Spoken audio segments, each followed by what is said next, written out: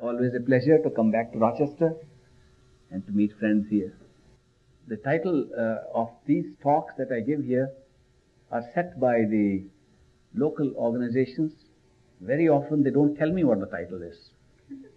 I have to find out by strange means, asking here and there, then they try to mislead me.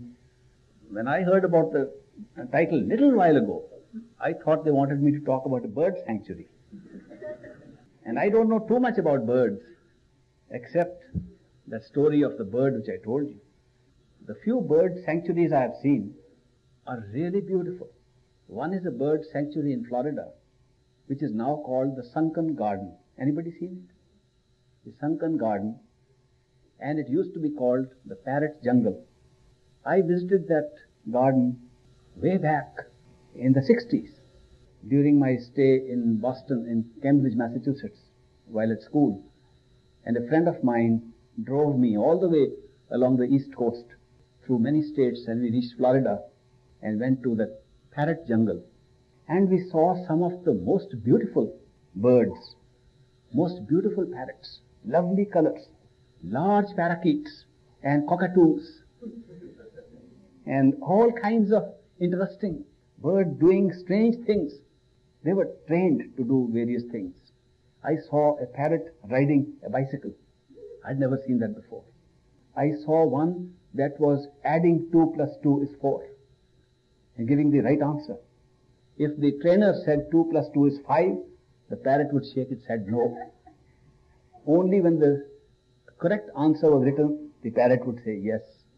I had never met such intelligent parrots anywhere in the world. There was a little alleyway going along the bushes, and some of these parrots were left in the wild just to sit on any branch of any tree. And they were specially trained because as you passed by that shrub or that tree or bush, the parrots would sneak in, sneak his face out and say, What's the hurry? What's your name? What's the hurry? Now, they all had that uh, parroty, squawky voice. What's the honey? You know how parrots speak. Except one parrot, and I can never forget this experience. Except one parrot who spoke exactly like a human voice. I couldn't believe it. The parrot said, What's your hurry? I said, What? That's a parrot or somebody hiding behind. Is it a hidden tape recorder? It was actually the parrot. When I saw that parrot, I was walking ahead of the rest of the party. We were about 20 people. And I was walking a little fast and uh, accosted this parrot before them. So I said, There's no hurry. Something, I talked as if I, I was really supposed to respond. And the parrot began to laugh.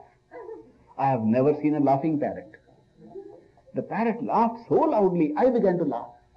And I had to laugh so boisterously. I threw my head up laughing, and the parrot threw his head up laughing. That was the point when the rest of the party came and saw us doing this. they couldn't believe this was possible. They got, at least one got a definite impression, and the others shared it, that this fellow Ishwar Puri must have been a parrot in a past life. when they questioned me, do you think you were a parrot in a past life? I said, why past life? Even this life. They didn't understand what I was trying to say. They thought, maybe I'm a parrot dressed up like a human being. With the result, they thought I must be missing my relatives for that Christmas. I got parrot pictures, uh, stuffed parrots, and one live parrot in a cage as a Christmas gift. They thought I must be missing my relatives. That was a strange visit to a bird sanctuary. And the birds there were flying freely, enjoying themselves, laughing, joking, as I've never seen anywhere else. The other day, many years later, I was given a gift at one of the functions we had in Mequon, Wisconsin. A certificate awarded to me for my excellence in my work. The certificate is still there. I think Clarence might be having. The certificate was for my excellence as a parent. Is that true? So you see how I am recognized so easily. So when they said I am going to speak about bird sanctuaries, I knew that I was a qualified speaker for that. But here Gela comes up and says not the bird sanctuary, it's the inner sanctuary. And I am still walking up and wondering what's the difference. Sanctuary is a sanctuary wherever it is. If you can enter a park, a forest, a jungle, a quiet place, a place full of nature, environmentally sound, if you can go into a place and enjoy bliss and happiness and sing freely and fly freely, it must be a great sanctuary. And do we know any such place? I went to the same parrot jungle now in the sunken garden. People taking pictures, reporters drawing things, politicians addressing the woods. I was surprised that we try to destroy the peace of every sanctuary we know. You go to all the other peaceful places. The beaches have been destroyed. The jungles have been totally cut of trees, denuded of trees. The rivers are going bad. We don't have too many places where we can say this is a good sanctuary for us to have peace. There used to be the old monks going into monasteries, which they used to call their sanctuaries. The monastery was a great sanctuary because there they could hide themselves and they could hear nothing. It was so quiet. When they ate, they ate quietly. Have you ever been to a Buddhist monastery? Anybody? Okay, so you would understand what I'm saying. Because I visited a large number of Buddhist monasteries. Some of the largest monasteries in the world. I visited those in the Himalayas. I visited those elsewhere. They wear those very soft, gentle clothes, those robes, which can rustle around just like the leaves of a tree in the forest. You cannot know if you are in the same kind of a outer sanctuary or you are now in a building in which these monks are moving. When they want to eat food or serve, their long sleeves they have, they hold up like this and they pass like this as if it is so natural. They don't make any noise. And I would sit quietly with them. I dare not move my feet lest it disturbs their peace. The only words I could hear in those Buddhist monasteries was a very nice hum, humming tone. Mm, and then some of their mantras being read. Om Padme Hane Om, Om Padme Hane Om. So that kind of repetition itself was creating a musical note in which they sat in meditation with their faces lit up with enlightenment and joy. I saw a real monastery. Said, this is exactly what people are looking for. In the West, people are looking for this kind of peaceful sanctuary. They don't have it. And I tried to go back to those sanctuaries and I find police guards standing there now. Different governments have got into them. Red tape, bureaucracy has destroyed the peace of the sanctuary, made it into an inventory on the property list of the government. Things have changed so much. I wonder in which direction are we moving? Where are those sanctuaries left? You go to any monastery today, you find there is no peace. What are those monks discussing now? Whether the other monk should attend the next elections or not, should compete for the next election. Some are debating hotly if we should have democracy in the monastery and the next senior monk should be elected and not appointed. Why should one monk just be picked up by the senior monk and made into a senior monk? Why shouldn't we vote? Aren't we all equal? Now, when you shout like this in a monastery, you don't experience the peace that used to be experienced in these monasteries.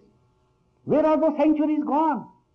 I don't see any sanctuary left. If there are still some sanctuaries where you get that peace, I'd like to visit them and renew my experiences of peace and tranquility and joy and bliss. Wherever the civilized man and the educated man has stepped in, he has destroyed the peace of the simple sanctuary. We have brought so much argument, so much logic and philosophy into the peace. We want to question. How can you have peace? They said, leave us alone. We have peace. No, explain to us. How do you get peace? We must analyze it. And the few places on this planet Earth where one could go and get some peace are being deprived of that peace because of our curiosity, anxiety, our analysis, our mind, our mental games. We won't let them live in peace and we won't live in peace. Where do we turn to now? I think this present title of today's talk gives an answer. The inner sanctuary. Let's now find a sanctuary which we do not have to discover by going anywhere. Let's not travel to down South Florida or up in the mountains of the Himalayas in India or Tibet.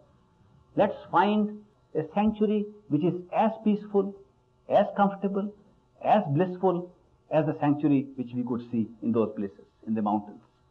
That sanctuary can be found within oneself. The inner sanctuary is perhaps the most peaceful, the most blissful, the most joyous sanctuaries of all. If anybody has had an entry into the inner sanctuary, even once, that person can vouch for the statement I am making. The joy and bliss of the inner sanctuary is more than the joy and bliss of all the outside sanctuaries put together. Therefore, here we have an answer that if we find the inner sanctuary, we are able to get the peace and joy which we have lost in these ashrams and deras and caves and cuevos outside in this world. What we have lost in the nice deer parks where Buddha could go and sit in meditation. Have you seen that deer park? It's still there in Sarnath, in Bihar, in India. Go and see the park where Buddha sat in meditation. See the tree under which he got enlightenment. It's still there. They're preserving the tree, they're preserving the park. It's full of holiday makers throwing empty packets of chocolates, cones, half-eaten ice cream cones. They melted before they could finish them because of the hot sun. All kinds of glassware, paper cups littered, and people screaming and running all over. Not only children, even the older ones. Is it the same deer park in which the Buddha meditated and came to enlightenment? It's no longer the same deer park.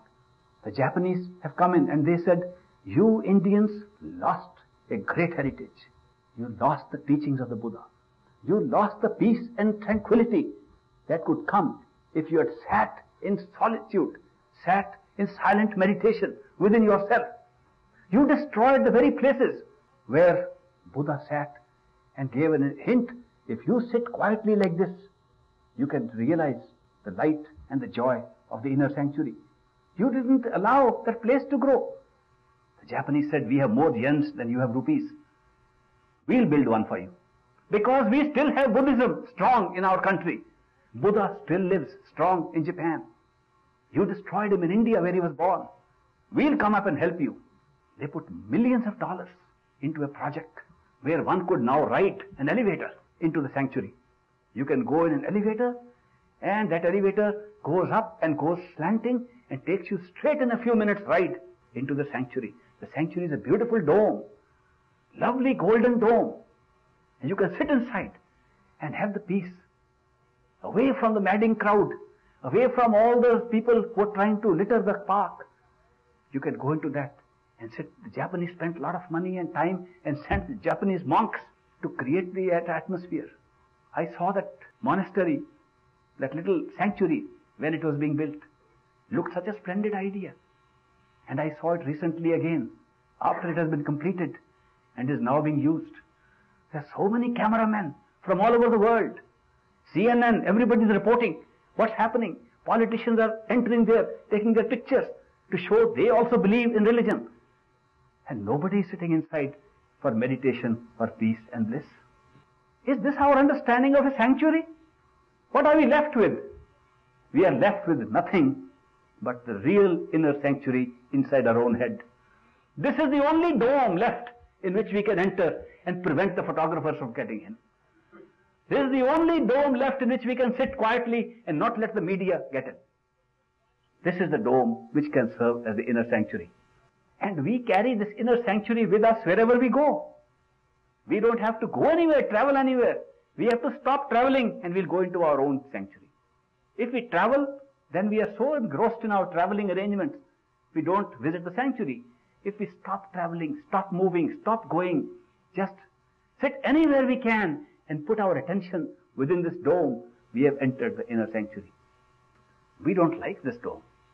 I used to think people love their bodies. I have a question mark on that now.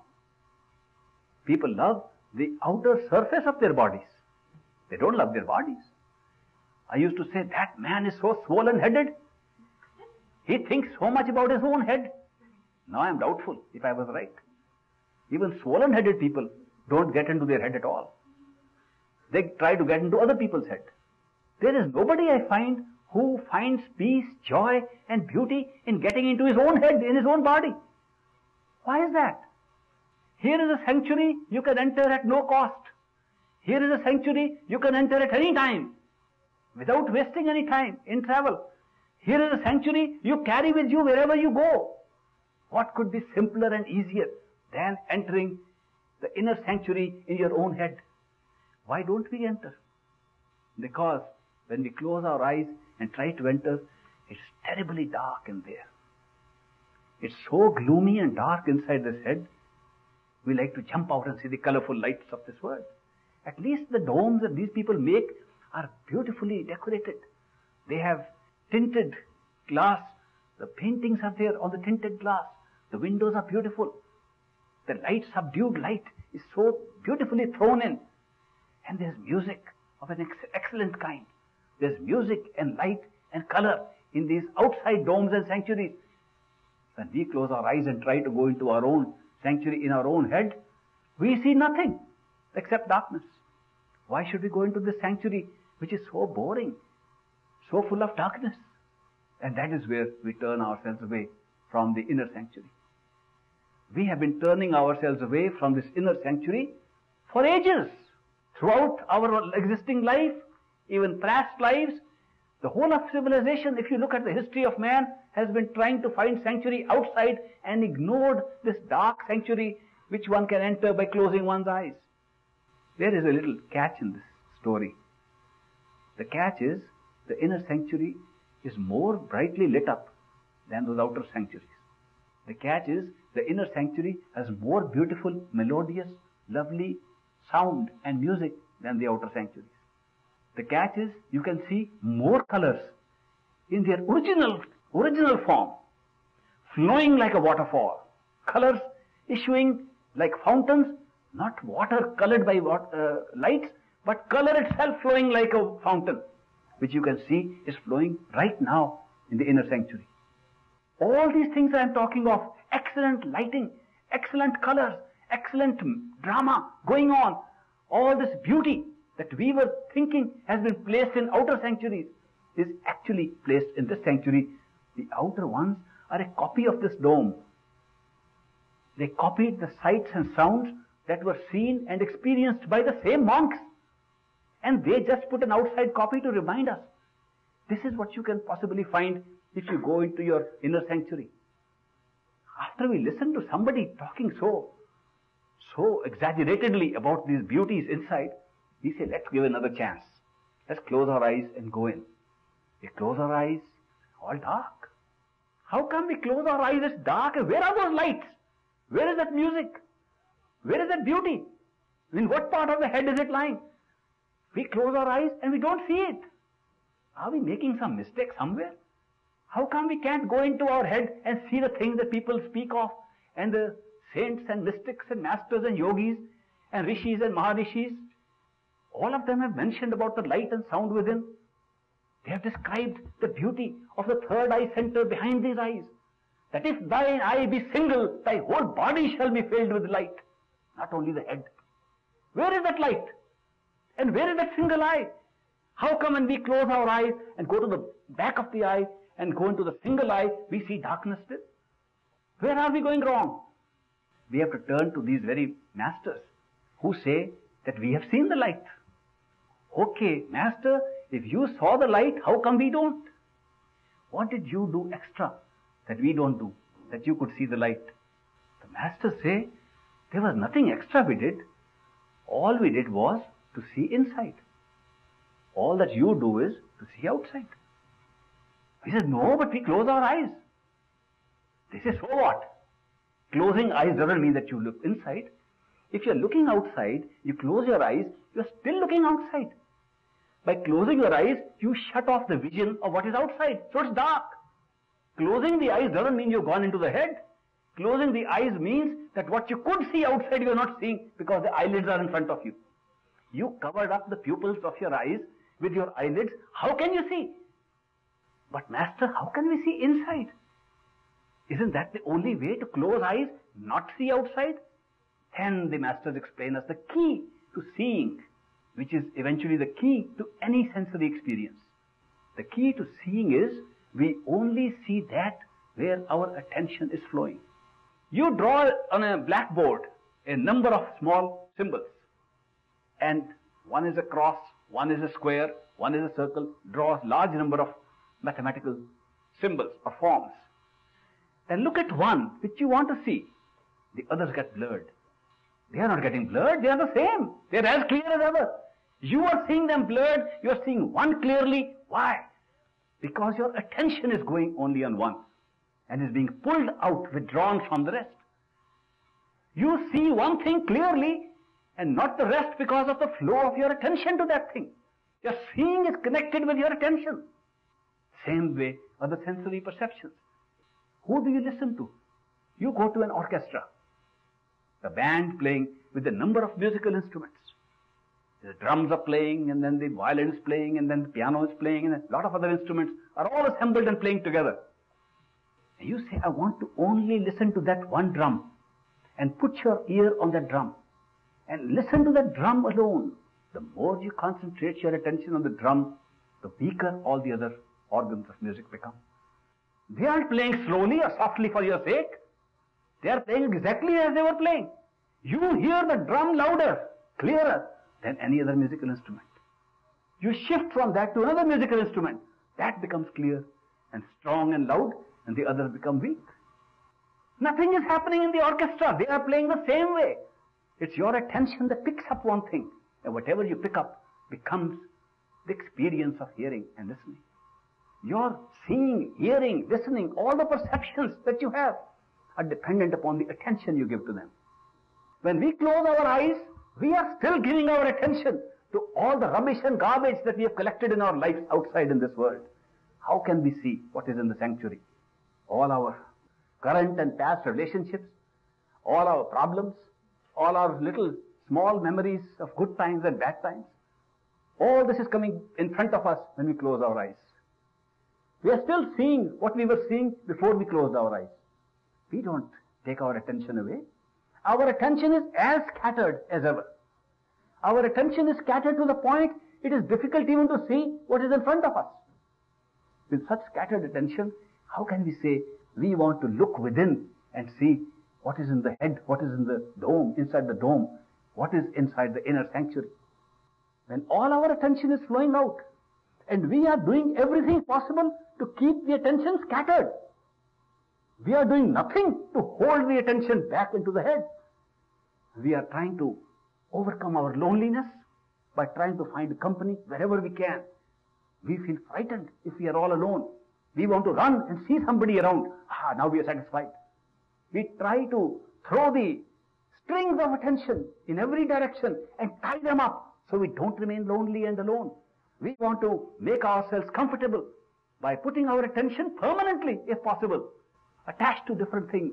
Our home, our money, our security, our friends, our relationships, our children, our parents, our grandparents. We are constantly tying ourselves up with these strands of attention and trying to tie them up. And then suddenly one day we hear a lecture that the inner sanctuary is inside. We close our eyes as if we are going to meditate. Say, wow, we can't see anything. It's all dark. Let's try and see something. And we see our friend, our home, our wallet. All the things we have tied ourselves up come up at that time. If you have lost something and you want to find, try meditation. All the things in the world which we have considered so important, to which we have tied up our attention, come up during meditation. When the attention is drawn to those things, how can it turn around and see what is behind the eyes inside? It's all a game of attention human attention is the only resource, only underlined, second time. Human attention is the only resource you have to turn inwards and see the light within. You have no other resource. If the attention is flitting and scattered all around in this world, don't expect to see any light within. It's only when attention is pulled back into your own self. If you can reverse the flow of attention, look at attention, how it works. It's your own attention. I'm not talking of somebody else's. I am talking of your personal attention. Personal attention in the mind. Your mental attention emanating from your own mind, your own head. through the sensory perceptions, through thoughts, through memories. How does it work? It works, it flows to one thing, then another, then another. Sometimes it flows to two things at the same time, and the intensity is less. It gets divided. Sometimes it flows to 20 things at the same time. Its intensity is further reduced. Very little bits of attention are trying to catch up with everything. The older we grow in this world, the more our attention gets scattered. Because there are so many more things to remember, so many more things to do, so many more things to be careful about, so many things to worry about, mostly worry about. All these are distractions from looking inside. All these require the human attention to flow in a single direction from within, from the third eye center, from behind the eyes, from the center of the brain, from below the brain, from the medulla oblongata and the brain, between that portion, from that place, all the way out into the world. That's what we are doing all the time. And we close our eyes, it's dark because what was in front, lighted up, is no longer lighted. Do you know the amazing thing that you cannot see a single thing with these physical eyes outside if there was no light falling upon the things which you are trying to see. Did you know that? If all light were withdrawn, all forms of external illumination falling upon objects were withdrawn, these eyes are incapable of seeing anything outside. And this power of seeing, which operates through these eyes, when operating without physical eyes, with eyes closed, can see everything, all the things, even with no external light on them. Ever tried this? Try some real yoga. Not merely standing on, on your head. No headstands can give you that kind of light. You want to see totally in the dark and all things bright up like infrared rays coming through you. If you want to see things separated by walls, thick walls, and you want to see them, you can see them with the power of seeing without the scattering of your attention. How do we get that power? It's very simple. The power is not bought from somewhere, not brought from somewhere, not given by anybody. It's already there.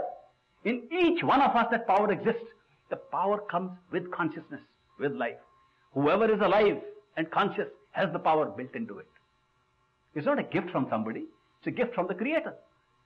A gift from God that we became conscious and therefore the power of seeing came within us. And that seeing is not dependent upon the light outside. That seeing comes because the thing that are seen, the creativity of the thing that are seen itself illumines them.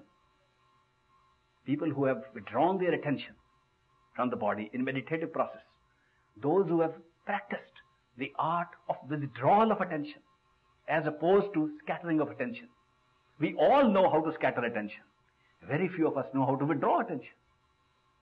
People go to meditation schools and I am surprised. I have visited some of them. And I have visited them teaching meditation for years. People have been working for 40 years on meditation and all they have done is shifting attention from one thing to another. That's not withdrawal. Focusing attention, as if focusing attention is the same as withdrawal of attention. It is not. Focusing your attention flowing outwards is as much outwards as scattering your attention outside. The withdrawal of attention is totally different. The withdrawal of attention is pulling the attention back to the point from where it was coming out in the first place. Where is it coming out from? Not from somewhere else, from your own self. There is no other creator of attention but your own conscious self sitting right now in the head behind the eyes. Therefore, this power of attention, which is so vital for a spiritual journey within, without which nobody has ever performed a spiritual journey, that power of the withdrawal of attention lies within you.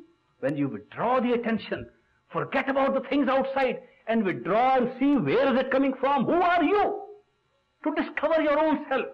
Self-realization by withdrawing to the self gives you the power that I am talking about.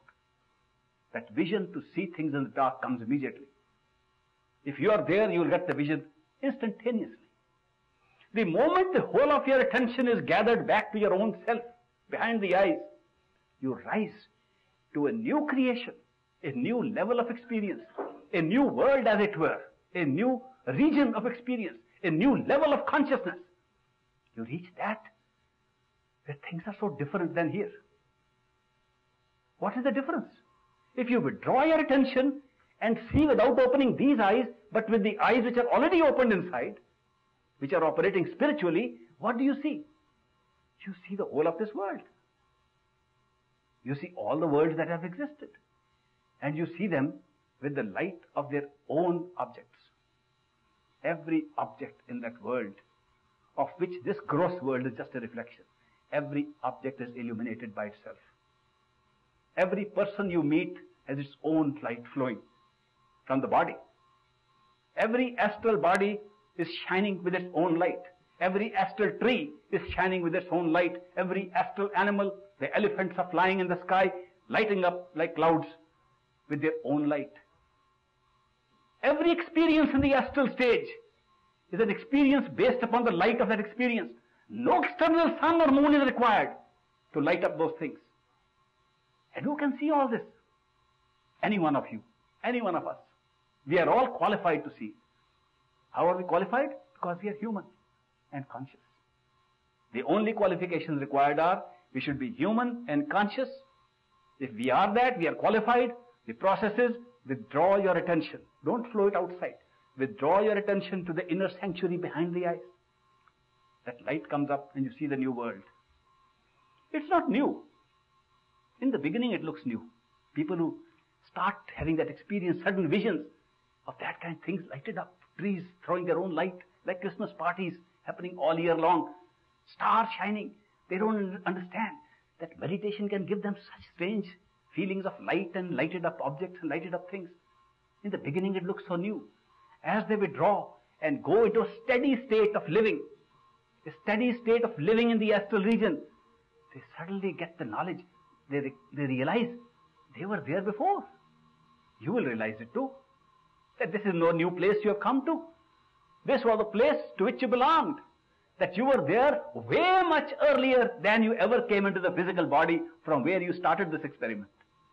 That this kind of meditation, which involves the withdrawal of attention, takes you back to a place which belongs to you where you were prior to being born here. And then you can recognize all the things which were there before you were born. Nobody tells you this is your place. You don't believe anybody else. Nobody has to tell you, have faith in this. Put blind belief in this. You see yourself. You tell others, I found it. They say, he's crazy. You don't care because you've seen it yourself. That kind of experience carries its own proof with it. When you go to a place and remember you were there, there is no proof like that. It's the kind of proof you get when you wake up in the morning. When you wake up in the morning, nobody, you have never asked, I have never seen anybody in the morning asking somebody, please tell me, am I awake? I want proof that I have woken up. I've never uh, seen anybody. Nor have I seen people really waking up and pinching themselves to see, is this the body in which I went to sleep? They don't do anything. I see that people don't even open their eyes and they know they are awake. What makes people awake is not the wakeful experience, but the memory of having gone to sleep.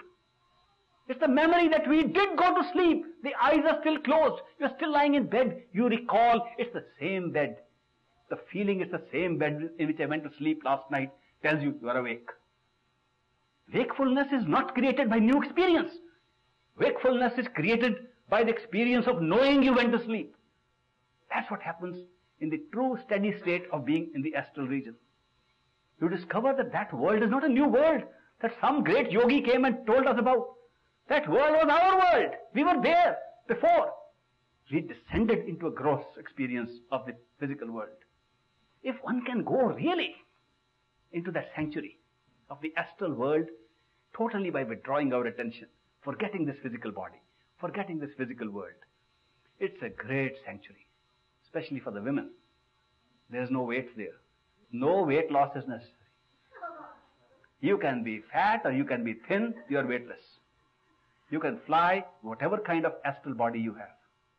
There is no problem of eating. You can eat as much as you like without indigestion, without disease, without having to then do exercise to wear the fat off. I'm just giving you a few things. There, I could give you a long list. You could fly where you like. Nobody can deceive you in the astral plane because you can't keep a secret. Because you can read everybody's thoughts. I'm not talking of I, Par Brahm or Sachkhand or a true home. I'm talking of the very first stage. The very first stage of realization. The very first stage of a true inner sanctuary that exists inside each one of us and can be attained by mere withdrawal of attention from this physical world. It's full of light. You don't need any torches. You don't need any, uh, any electric lamps. They don't fuse anymore. You got the benefits. Homes are hanging up in the air. You can fly into any home you like. It's lighted up, you can see it from a distance. Your names are written in illuminated signs. You can see from a long distance. It's a different life. And yet it is a real world. It's not a fantasy. I'm not talking of fantasy. If it were fantasy, we would come back here and think, boy, that was a great dream I had. We don't get that feeling. We see that, we know what is there. When we come back here, if we retain memory of that, we say, boy, how quickly can I finish my job here and go? There is no fear of death left after a single experience. A single experience like that removes the fear of death. A little longer appearance, uh, longer experience of that state removes fear, period. Not fear of death. All fears, period. Here, what could be a better sanctuary? Everybody is singing and dancing with joy. There's a very beautiful library there. You go and have a look at that library. It's very different from your libraries here.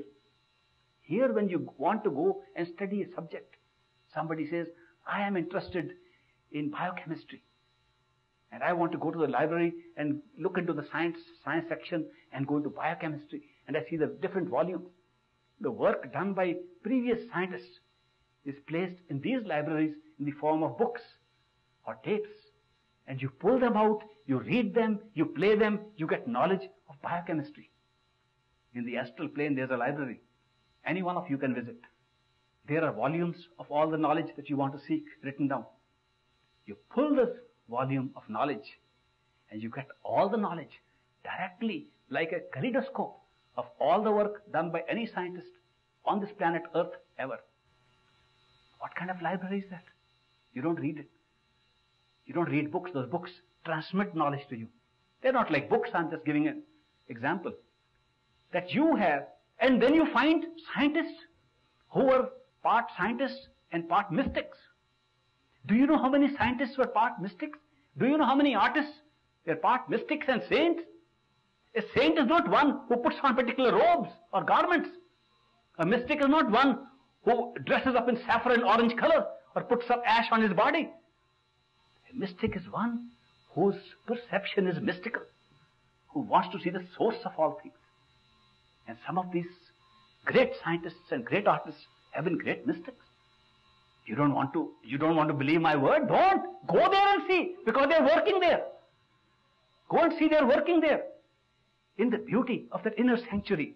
They're doing the same work they were doing here, and they're doing it much faster because of the resources available there.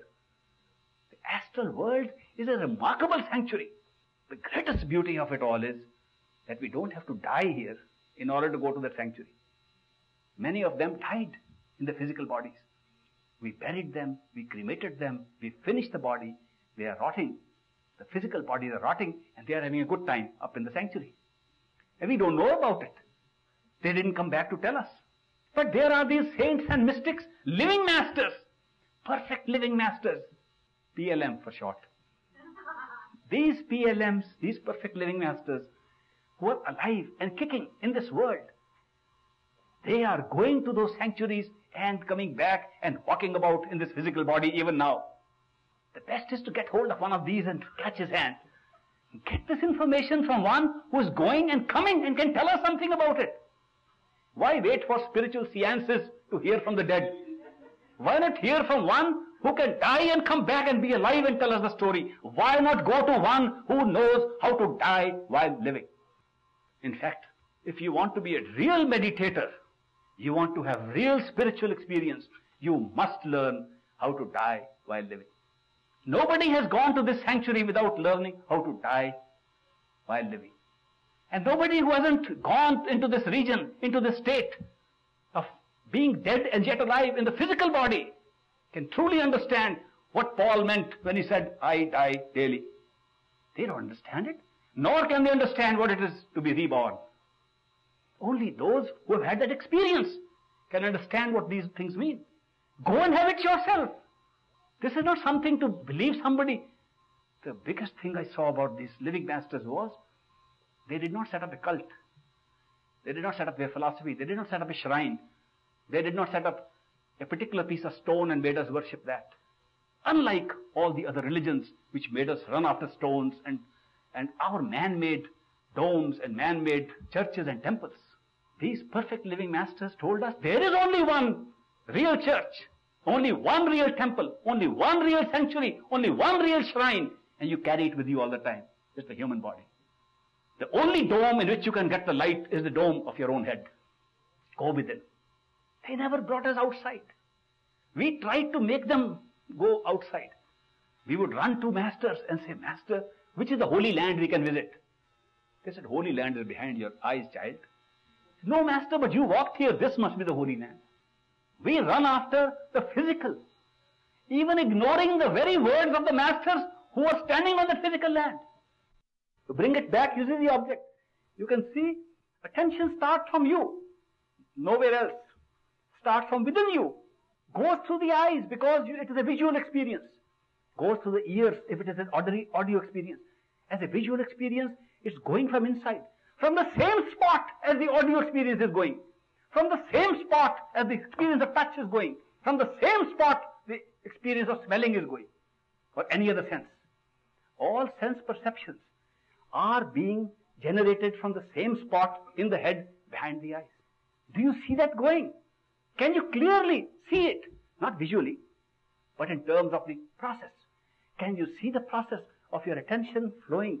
If you can see the attention flowing clearly, then you know this is what is to be tackled. The attention flowing. Can you stop it and flow it back? Let it go all the way in. If you can, you got into the sanctuary. What could be simpler than that? It's the withdrawal of attention.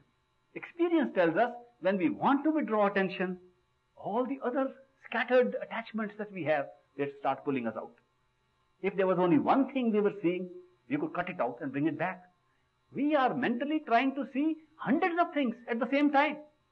All the attachments we have created, all the memories we have created, they all come back one after the other. And they don't let us go within. Inner sanctuary can be attained by reversal of the direction of flow of attention. Nothing could be simple. And that sanctuary is so beautiful. That sanctuary gives you flight, locomotion, gives you immediate access to anything. You can move at the speed of light. The higher you go into the sanctuary, in the second region of the sanctuary, you can move at the speed of thought, which is unfathomable by our measurement. We do not know what the speed of thought. We think thought is instantaneous. It's not. The speed of thought is much faster than the speed of light. The astral region gives you these facilities. And you can have that experience and see the beautiful architectural designs which will be created on planet Earth in the year 2020. You can see them now. You can see the music that will be played a thousand years hence. You can see the technology that will be available to this Earth planet, to the scientists, 100 years, 200 years, 1000 years, 2000 years hence. What kind of sanctuary is that? Where you not only get peace, joy, you get knowledge. A sanctuary giving you peace, joy, happiness, worry-free existence. A totally worry-free existence, and then you can get all the knowledge that you want. That inner sanctuary has been placed in our own bodies, in the physical bodies. It has been trapped along with us. You know, there's a great prison.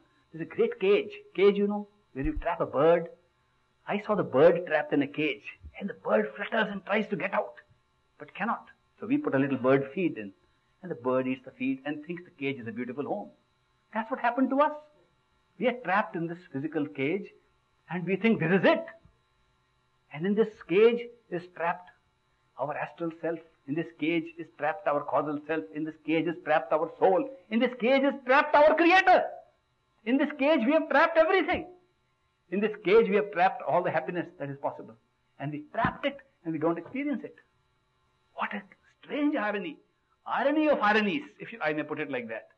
What a strange irony that the soul, the individualized form of the ultimate, ultimate total spirit, the ultimate unit of consciousness, the soul of a human being, is sitting inside this little trap, this little cage. And the object of its pursuit, its beloved, its ultimate destination, the Creator, God Himself, is also trapped there. They're both trapped together in the same place. So close, and they don't see each other. At least the individuated soul doesn't see the Creator. It's so tightly trapped inside and is willing to look everywhere else except where God exists. This is the only temple of the living God that exists. There is no other temple in which any living God exists. And we don't look inside this temple. We are willing to go to any temple anywhere else. What great irony and tragedy there could be. There's a greater spiritual tragedy that is taking place. That the real temple in which we could find the Creator, we are ignoring. Why? Because we do not know how to reverse the flow of attention. We do not know how to go within. That's why we are doing all this. If God is within us, so close to us, if the soul is within us, if our real self, immortal self is within us, the immortal creator is within us, why do we have to ask anybody else to help us? Why should we go to a perfect living master? Why should we go to anybody? The whole problem is all in our own head. The seeker and the sought both are in this head. Why do we have to go anywhere else? We have to go anywhere else for the simple reason that the seeker and the sought have been here inside us for millions and billions of years. We never met. What good is it being so close? What good is it being so close and not knowing how to meet? So what do we do? Who is interested in meeting the Creator? I have sometimes pondered over this question for long. Why the seeking? Why should there be seeking? Why should there be a seeker? Who is seeking who? How many are there? What is the metaphysical truth of the reality of consciousness? I read the books, it's written there, but the mind cannot absorb it. Because the books say there is only one reality. You can call that reality the creator. You can call it total consciousness. Nothing else exists but that reality. What about the rest of us? We are all excluded? No, we are part of that reality. We are an illusion, an experience, a generated illusory shadow experience of that one reality. That God, the Creator, is the only reality. Therefore, when we talk of a seeker as a human being trying to meet God, we're talking at two different levels altogether. That is why it doesn't match. Because of these two levels of consciousness, we have all the contradictions. We read the books, they're contradictory. We go into our own experiences, they're contradictory. What is creating the contradictions? Have you ever tried to see this? Examine that all the contradictions in us are being exa- are being created because we do not differentiate between different levels of consciousness. When we reach the level of consciousness of the Creator, there is nothing else but the Creator. When we reach the level down to the level of a human seeker, there is nothing else but the seeker and the concept of a Creator. When do these two meet? When the seeker, by self-realization, by going into the absolute inner part of the sanctuary, discovers there was no difference between the seeker and the sought, except the sought was real. The seeker was the illusion. This is a strange kind of game, that there is only one player, and the one player has to create the many. And by putting 20 mirrors, you become 20.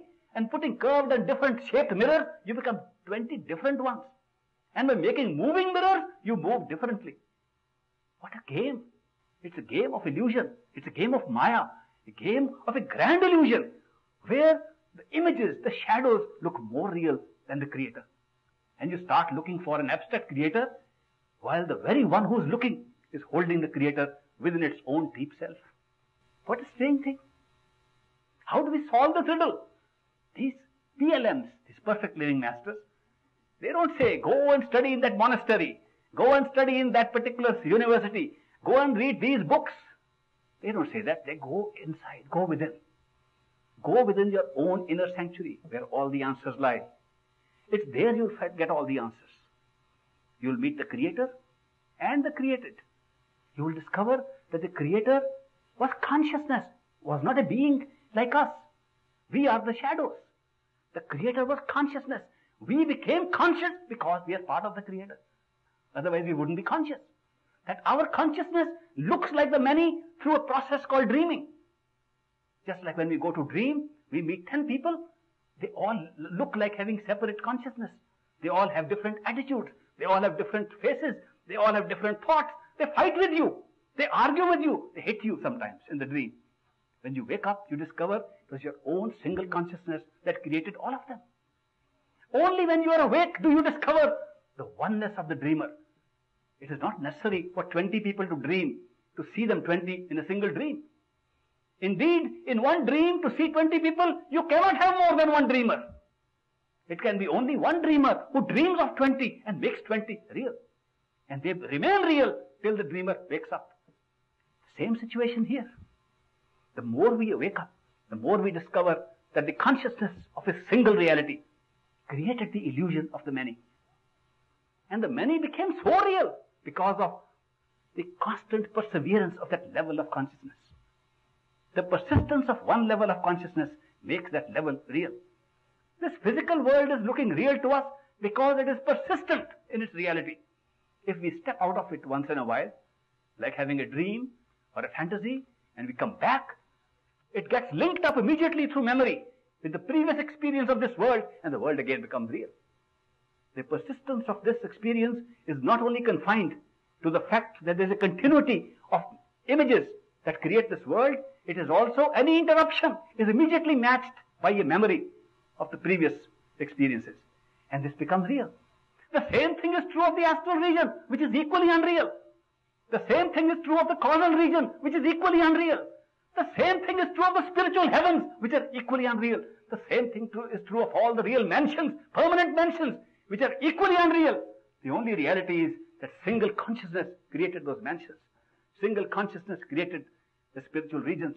The single consciousness created the causal region. The same single consciousness created the astral sanctuary. And the same single consciousness created this physical world. It's all one. They aren't separate gods governing these regions. There's only one. There never have been two. There never will be two. I say dogmatically there's only one God, one creator. There never has been a split. Yet the same God is responsible for all our experiences. When do we get this kind of knowledge so clearly and so powerfully that it should become an experience for us? Only when we go with it.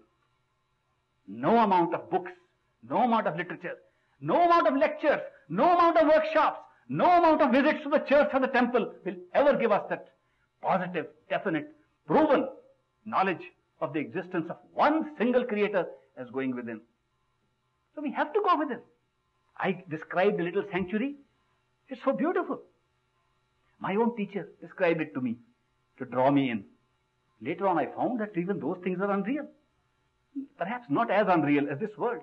So I asked the great master, by telling us and telling our minds, there's such beautiful things inside, aren't you trying to bribe us? He said, yes. He was so blunt. He said, yes, the mind, the human mind, doesn't want anything but pleasurable variety of experience experience that should have a variety and should be pleasurable. You give mind experience of pleasure, loves to follow it. You give it a little better, more pleasurable variety of experience, it leaves the first one and runs to the second one. And then the third. It's the nature of the mind. The mind has always been doing this.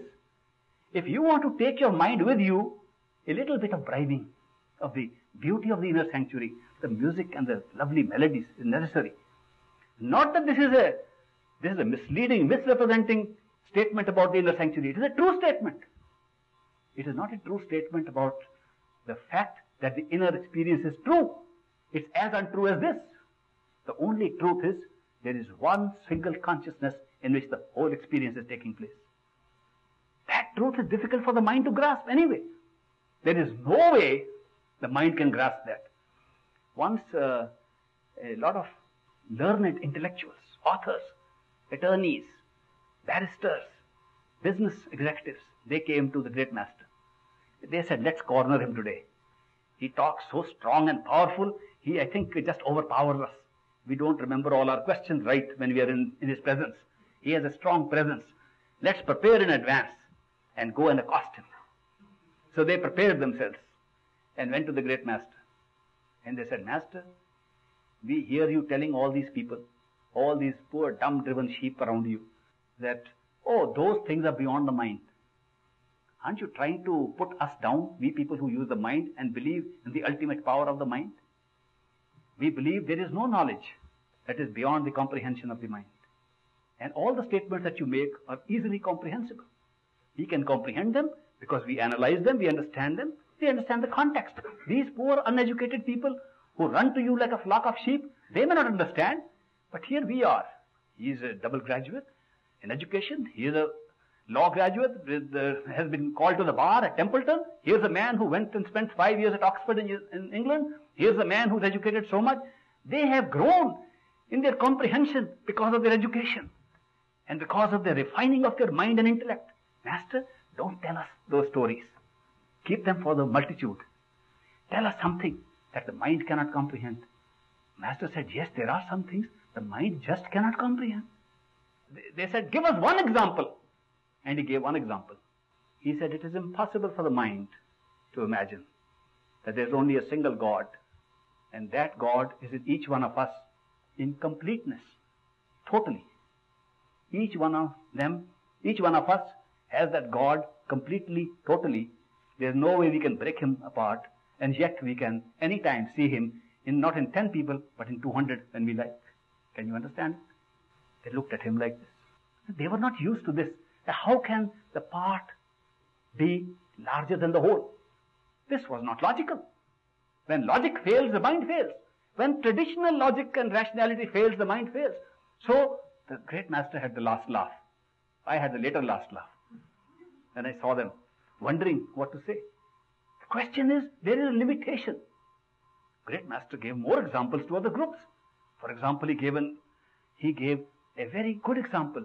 He says, can the human mind perceive a time which has a beginning? And the answer was no. And he said, yet there is time with a beginning. Actual time with a beginning. Time has been created. When it was created, it must have a beginning. How can you create and not have a beginning? And it has an end. That creation has a dissolution. Therefore, there can be an end of time. Some scientists have tried to hit against this. Einstein was, I think, one of the earliest who really hit against this problem of created time and a, and a circuitous time which is in one circuit. But he couldn't break the mental limitation. He recognized that the mental limitation will preclude any visual or any any kind of comprehensible thing that the mind can hold, showing that there is time and outside of time there is no time. What was there? We cannot fill anything else up without time and space. When we use our mind, we cannot create emptiness. Emptiness gets filled up automatically by time and space, whether we like it or not. Can you create with your mind a concept of emptiness which has no time and no space? Time ticks, whether we like it or not. Who makes the time tick in emptiness? The mind. You have an empty space, it gets filled up with space. Who fills it up? The mind. It cannot do without it. The mind cannot do anything whatsoever without using time, space, and the cause and effect linear relationship of the flow of events. It's a limitation of mind. And yet, we want to grab all the spiritual goodies with this mind. A limited mind. The spiritual goodies can be grasped only with the spirit, with the soul, which is timeless. And comes from a region beyond the causal, beyond the mind. Therefore, if you really want to have that experience of the inner sanctuary, you must go within, die while living, learn, like St. Paul said, how to die daily. If you can, you will be visiting the sanctuary whenever you like. Don't have to travel to Florida or Tibet or the Himalayas. I would like to conclude with a little story back from the bird sanctuary, from where I started. There used to be a merchant in India. He was an importer and exporter. He used to import things from Africa and used to take some silks and Indian wares and sold them in Africa. He brought cashew from Africa. So he was dealing in this business and once a year he used to make a trip to Africa from India. During one of his trips, he went through a parrot jungle in Africa. A forest filled with these beautiful animals, these beautiful birds, parakeets and so on. So colorful. He liked them. He decided to grab one of them. He bought a cage while in Africa, grabbed one of these birds, put him in the cage, and brought back to India. In course of time, he fed that parrot with green chilies and peppers and all kinds of things these parrots like, which I didn't know much till I heard the story. All the goodies that the parrots like, he fed them, and the parrot was very happy. The parrot ate the goodies, sang, danced, drank, and was very merry. After a year, when the merchant was going to make his next trip to Africa, he asked this parrot, Now, Mr. Parrot, I am going to your homeland from where I brought you. Do you have any message to send to your folks back home? And the parrot said, Of course. Tell them I am enjoying myself in this cage. I eat, drink, dance, sing, and I am making merry in this cage of mine. The merchant said, Okay, I'll convey this message. And he went over to Africa. In due course, he went into that forest and he saw a lot of parrots. So he called them around. Come on here, you parrots. You folks, come here. I have a message for you. So all the parrots gathered around him. And he said, You remember last year I took one bird from here, one parrot from here in a cage and took him back to India. That parrot has sent a message for you. The parrot says, I am enjoying myself in my cage. I eat, drink, dance, sing, and I am making merry. I am very happy. When he said that, one parrot sitting on the branch of a tree got tears in his eyes and fell down dead. The merchant was very horrified at this experience. He thought this parrot must be very close to the one I took with me, that he could not bear to hear his message, and he shed tears and died on the spot. Anyways, saddened by this event, he finished his business in Africa and came back to India. Returning home, he told the parrot in the cage, Look, parrot, I conveyed your message. I told them that you are enjoying yourself in your cage, eating, drinking, dancing, singing, merrily living. When I conveyed this message, there was one parrot sitting on the branch of a tree who got tears in his eyes and he fell down dead. When the merchant said this, the parrot in his own cage got tears in his eyes and dropped down dead. He said, Oh, foolish merchant, if you knew they were so sentimental with each other, why should you have conveyed this message? Anyway, it was too late. So he opened the cage and threw the dead bird out. As soon as he did that, the bird fluttered its wings, got up and flew and sat on top of a wall. And the merchant looked at it and said, So you aren't dead after all? And the bird said, No. Not only I am not dead, even that parrot in the jungle is not dead. That parrot in the jungle only sent a message to me through you. And the message was, if you want to get out of the cage, die while living. Thank you very much.